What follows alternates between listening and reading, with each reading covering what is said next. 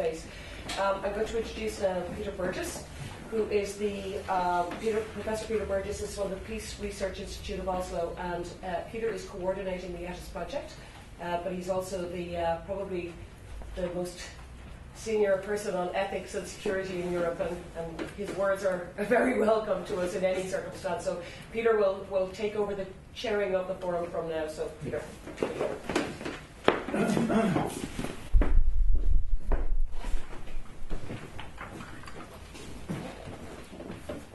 Thank you, sir.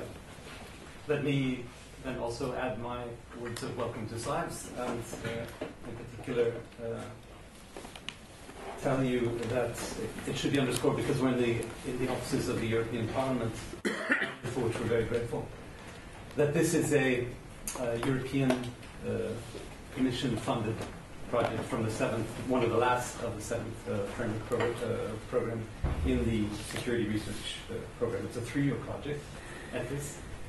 Uh, and it has a consists of a consortium of 10 members, very diverse, uh, with a large uh, diversity of functions, and as it's good to have in any European integration project, a diversity of uh, a geographical uh, diversity. In addition to my own institute, PRIO, in, in Oslo, there's the Swedish Defense Research Agency, the Hague Center for Strategic Studies, Trilateral Research and Consulting in London, uh, Fraunhofer, ISI and IST in uh, Germany, of course, the Center for Irish and European uh, uh Security, represented by Simon McCarthy, here in Dublin, the Austrian Institute of Technology, Safran Morpho in France, uh, David Adom in Israel, and not least the police service of Northern Ireland.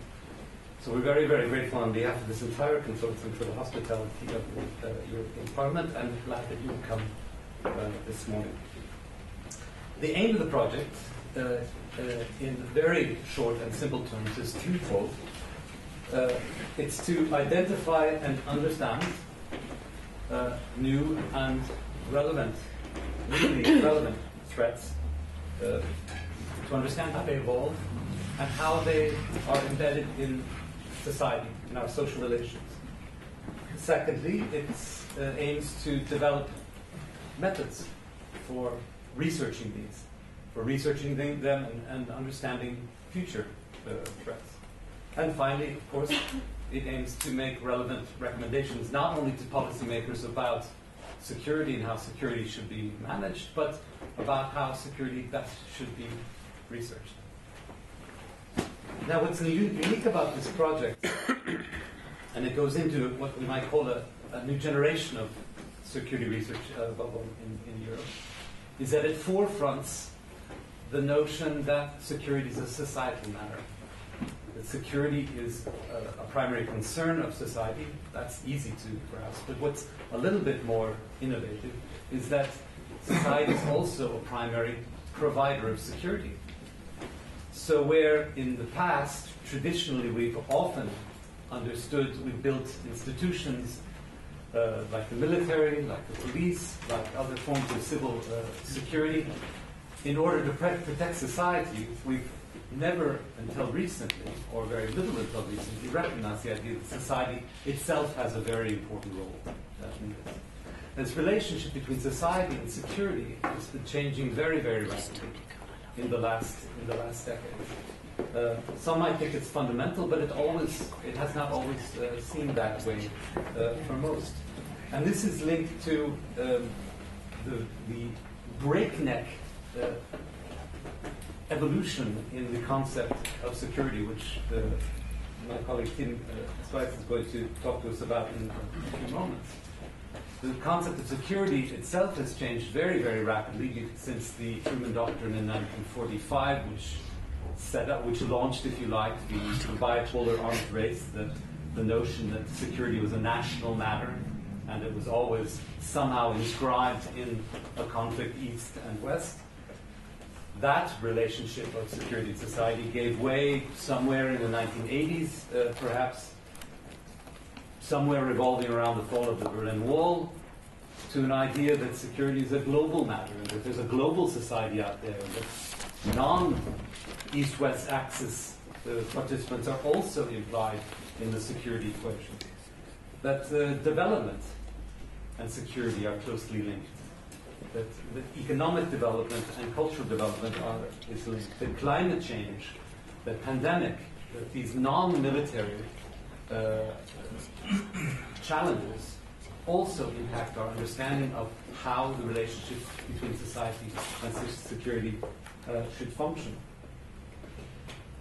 And then the third chapter, I don't need to tell you that the events of 11 September 2001 turned things on its head, not only in the most obvious ways, but also in the way we formulated, thanks to the inspiration of the uh, Bush administration, we've formulated our greatest security challenge again as a war, a war on terror, an expression which is, which is hardly used anymore, you might uh, notice.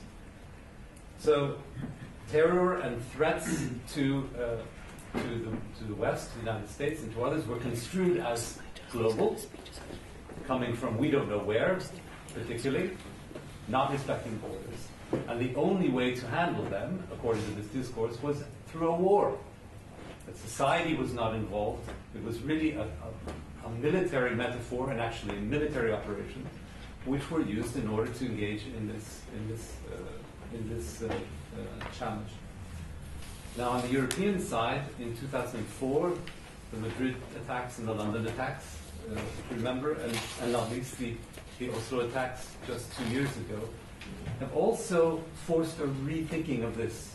I think in the hearts and minds of every man and woman on the street as well, not just in the policy among the policymakers, saying that look, what went well in those attacks was the way society reacted the resilience, the robustness of society was what brought our attention to them, both in London, in Madrid, and in, in particular, I suppose, in Oslo.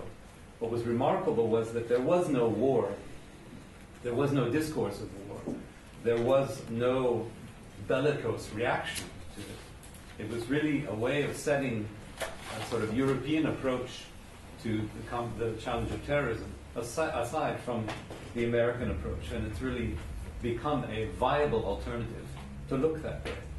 That sort of societal uh, meaning of threat and the response to threat through societal means is the inspiration to what I think we can call today in Europe the rise of attention to the role that society plays in security matters.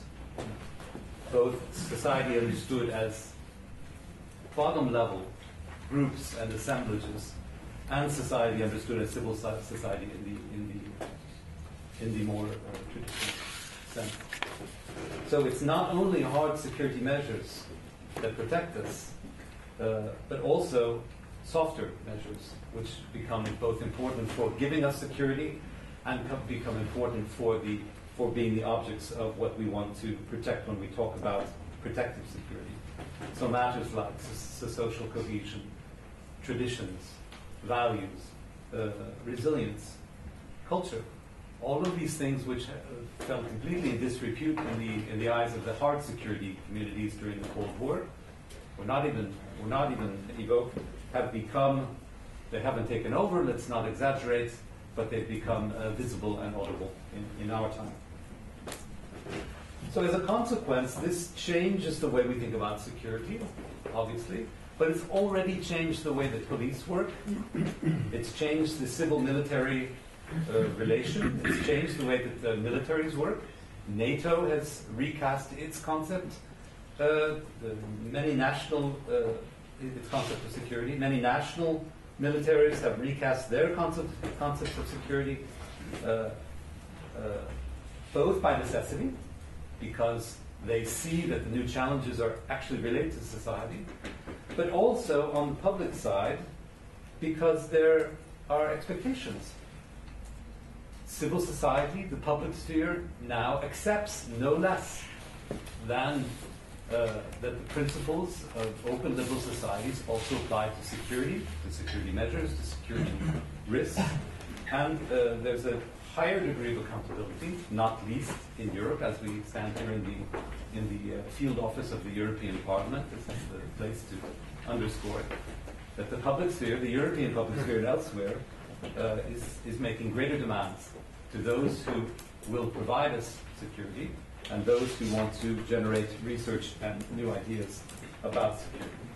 These demands, these expectations of the public sphere, then are what are in part inspiring the rise of societal security as the new dynamic in Europe.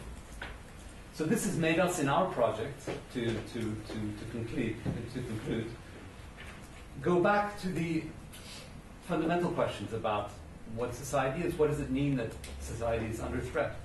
What is really a threat? What is the threatness of a threat? Well, our answer, our, hypothesis in the project is it has something to do with people. It has something to do with what people value, what they hope for, what they fear, what they want to keep, what they're afraid to lose. Uh, our program today is, uh, is, a, is a work of art, and it's thanks to the genius of Simon McCarthy and her team. Uh, it brings together both knowledge and experience from, uh, I was going to say both sides of the aisle, but there are at least three sides of the aisle, which is a bit of a problem in, in, in any theatre. but it brings together knowledge and experience from various sectors involved directly in the project and linked to the project, and also from uh, outside the project. Uh, people were very glad to take the time to come and participate. It's a bit of a whirlwind, our program, if you notice the time frames, and so we'll, we'll probably keep things moving quite quickly. Now, I know Simon McCarthy is giving me the task of doing that, of cracking the whip, and I, will do that uh, the best I can. So thanks very much for the hospitality, both of the European Parliament and the Centre for Irish and European Security. And with that, I conclude, and it's my pleasure then to give the floor to Dr. Mark Maguire, who is head of anthropology at the National University of Ireland, for a keynote